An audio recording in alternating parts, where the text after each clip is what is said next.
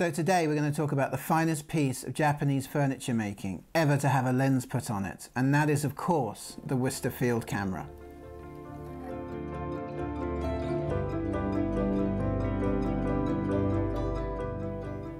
So this is the video on the Wista Field camera, set to the soothing sounds of my next door neighbour angle grinding holes in his Triumph Spitfire.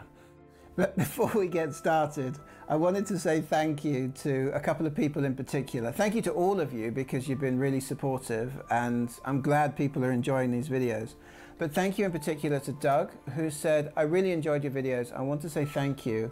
So I want to send you this 120 to 5.4 film holder.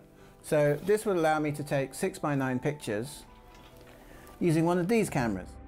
I wanted to say thank you to Gianmarco for sending me this roll of Fujifilm. I will get round to using it. I want to do something special with it, so I haven't really thought about what I'm going to do with it yet, but I will definitely let you know when I do. Someone also sent me these three rolls of Ektar, but there was no name in there, so I don't know who you are. So thank you, whoever you are. And if you want to send me your name, I'll thank you personally. So, the Wista Field camera. Now, there's a saying that a bad workman blames their tools. Well, that's probably because a bad workman either doesn't look after their tools or has bad tools. The Wista ethos just takes that to a whole new level. The idea is that if you have beautiful tools, you're going to create beautiful work and beautiful art. And these cameras are traditionally made Japanese woodworking and they are phenomenally accurately built. They are absolutely beautiful. You can buy them in rosewood, cherry wood or ebony and it's all about the beauty of the materials. The brass is just lacquered, there's very little varnish on the wood and everything is just lovely. Photographically they've got some really great things going for them as well. The ground glass on the back is the brightest ground glass I've ever used. I can use this thing in daylight without a dark cape, whereas looking through something like the Linhof is kind of like staring down the end of an upside down tunnel. And it's quite frustrating when you're trying to focus. This on the other hand doesn't have the vignetting, it's just a lovely ground glass. They also work very nicely with their movements. The way you can see the way the camera's moving is really nice. The Linhof's much more mechanical, um, whereas this, you've got little notches to tell you when you're in the middle. And you can just move it, and I just like the way it moves. Pop that back in the middle. The same goes for the tilt at the front. That's not the tilt, that's the, uh, the riser. the uppy downy as it's technically termed. Well, I've shown you how that one works. Um, if I can reach around here, I can't see it, there we go. There's my tilt.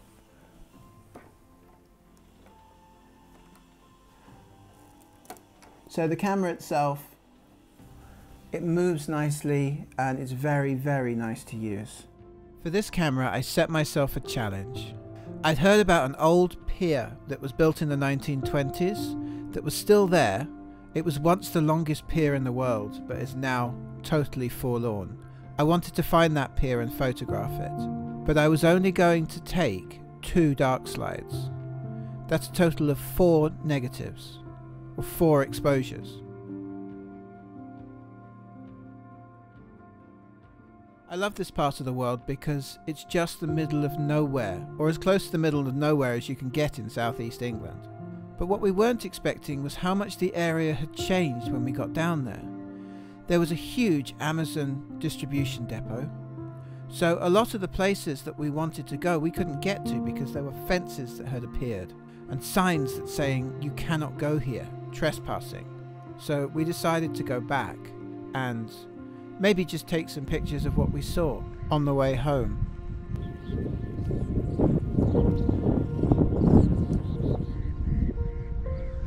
like disarming a bomb. Put this in your teeth and you put the yellow filter over this. Make sure you get your fingers over the lens as well because that really helps. And jog the camera when you're taking the picture. If you were considering a 5.4 camera, I would recommend this. My only criticism of this camera is the way you have to fold the bellows away isn't good when the bellows start to get old. It puts them under unnecessary strain.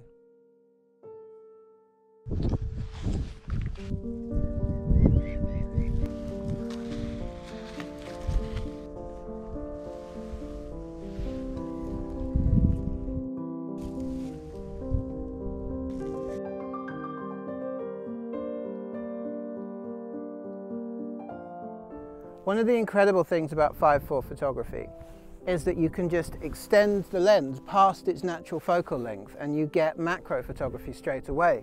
And because you've got this huge negative, I can take this little crab and take a picture of it where the crab is like twice, it, twice the size it is in real life.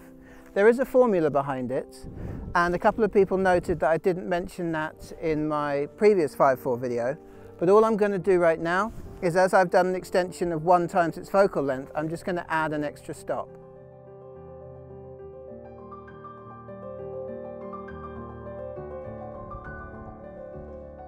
Here you can see us both. We might have to cut this a little bit short because I don't really want to be using this beautiful camera in the rain. So it started raining and we decided to call it quits after just two pictures and having never found the jetty. I came here because I wanted to take some pictures of the old jetty and we couldn't make it from the other side so we were about to go home when I said no I don't want to go home I'm going to find it and find it we did.